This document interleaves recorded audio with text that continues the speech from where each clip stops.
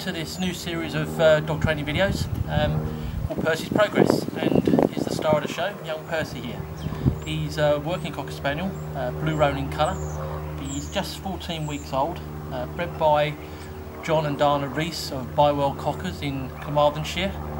Uh, traditional old lines, like Maesydderwen, for those that you know your cocker lines. And uh, John very successfully bred the championship winner run by Di Ormond a couple of years ago. So hopefully young Percy here will, will come up to scratch. So he's 14 weeks old. Um, in an ideal world I wouldn't have had a puppy this time of the year. Um, I like to have my pups in the spring. But uh, this little chap came along and uh, to be honest he was just uh, too good an opportunity to miss. So here we are in mid-November. Um, been a very, very wet winter, so not really done much with him. We've had him about four weeks. So we've given him plenty of time to settle in with the other dogs. Um, gets on very well with Ted. Regular viewers will obviously know Ted from the shooting videos and training with Ted videos. So young Percy here, I'm going to start him off on the place board. Um, and what I'm hoping to do is on a fairly regular basis do some videos and give you some updates just to see how he's getting on. Um, hopefully to impart a little bit of interest to you. Um, and eventually, um, in a 12 months, 18 months time, we'll get him out of the shooting field and uh, see how he gets on. So what we're going to do today, just introduce him to the place board. He's been on there a couple of times, I've been working on it, and um, he's taken to it really well. So we're going to do a little bit of place board work, just to show you how I introduce the pups to the board.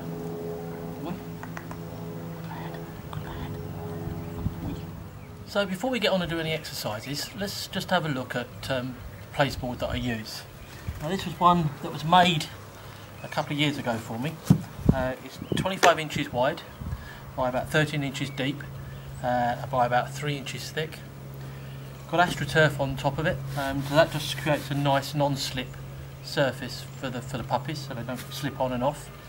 Uh, there's no real uh, proper size to have for these place boards. Uh, I just find this one works really well for the cockers.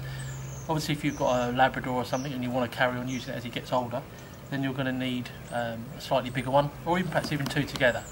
I've only ever used just one place board. I know there's some advocates that use two, three, perhaps even sometimes four. But I've just found one works really well for me. So it's not a magic tool. Um, it's not going to miraculously change your dog training overnight, um, but I find it's a system that works for me. And so uh, let's go and get Percy and we'll do a few exercises with him. He's very, very new to this. Uh, probably been on the place board about two or three times. Uh, it's the wrong time of the year really, it's winter time so it's pretty dark in the evenings. But the beauty of this thing is that you can do it in a garage or a shed, you can do it indoors and um, it just gets those puppies off to a good start with their training, their conditioning, gets them used to sitting down in front of you and as hopefully you'll see with, uh, with Percy, it helps get their eye focus in, which is what we're really looking for. I'll go get the young man and uh, see how we get on. So as it's this time of the year, I tend to do a lot of my early training um, in the garden, and that's fine, and that's good boy.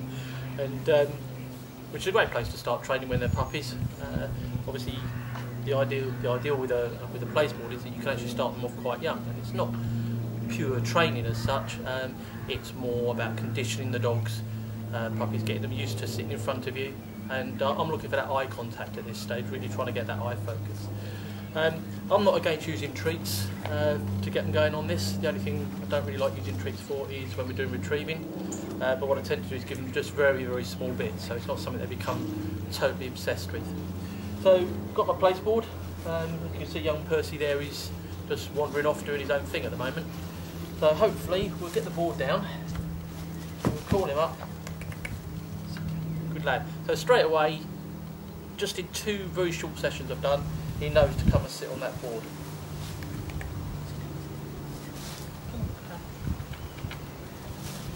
They don't sit, just help them up a little bit. Good lad. Little reward there for doing that. The way I like to use the place board is to make that the best place for the dog in the world. It's a lovely place, only good things happen on there. I've seen other techniques where um, the dog becomes scared to come off the board. That's not the way I like to do things. Now this is a 14 week old Cocker Spaniel and a lot of people say Cockers they're mad, they can't sit still, they can't sit still. But what you're doing by using the place board, you're actually giving them a target place, you're giving them somewhere to sit. So the other thing I quite like to do, even at this stage, I'm all ready now to start to back off him a little bit. and he's still quite happy to do that.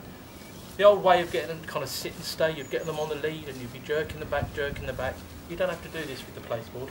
Good lad. The other thing as well now already, I'm getting a good eye focus with him. When I'm moving, he's watching me. Yeah, he might be watching the treat in a minute. At the minute, but he's still giving me the eye contact. The other thing I'll do is I'll just come to one side. Good lad. Good boy. Come around the front of him. Stay there. Good lad. You might notice then I'll just give him a little click just to bring his eye line back up again. Good boy. So we can come around this side. Another very important thing is I don't always treat them, so what I sometimes do is go back, good lad. Give him that stroke under the chin there, under the neck. He likes that. And what that's going to do is later on when we get onto more advanced retrieving work, that's going to lift his head up and give me a nice delivery. What a good boy. Well done, mate. Keep these sessions really short. Obviously there, he's a very young dog. Attention span of a gnat. Good lad. Good boy. There you go. And really that's all I'm going to do for the moment. I'm just going to build it up gradually and gradually and gradually. I'm not worried that he's got off by himself there. He'll come back on. There you go. He knows it's a good place. He's learned. He comes and sits on the board. He'll get a little treat. Sometimes it might be a little bit of biscuit. Next time it might be just a nice stroke. Good boy. Good lad. Well done. And at this stage, that's as far as I'm going to go. The other thing I've been uh, working on with Percy over the last couple of weeks is just introducing him to these little tennis balls. Just getting him distracted there by a leaf. Good lad. So I've been getting these little tennis balls, just getting him kind of clued up on those and doing a little bit of retrieving with him. and um, been doing it actually in the hallway indoors to start with because it's a bit of a restricted area. But what I'm hoping is, is by using this placeboard, uh, that will give him a target area to come back to me. We've got a bit of an issue at the moment where he's running around like an idiot um, with the ball. It's all great, great fun for him. So we'll give him a go on this and just see whether we can get him back up onto the board. I'm using quite a rough area here, so he's got to hunt for it a little bit. Percy, Percy. Good boy. Come on in. Good boy. Ah, ah, ah, Good boy. Good lad. Now that wasn't too bad at all. What he's been doing before he's just been flying past me. Um, so that was quite encouraging.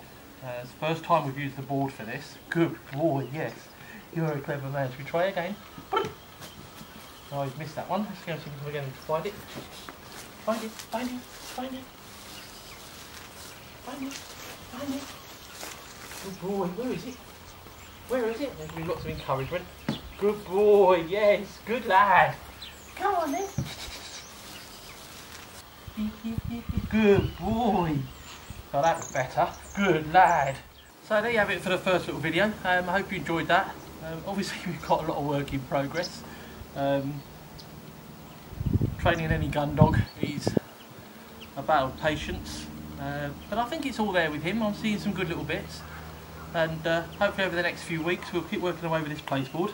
You want your dinner, don't you, mate? So, uh, and uh, we'll do another video, perhaps about another three weeks, and hopefully you'll be able to see some progress. Go get your dinner then, mate. Go on, off you go. Go on then. No? What do you want to do? good boy. You're a good lad. You're a good lad. Well, you know what they are in a few years' time. Hey.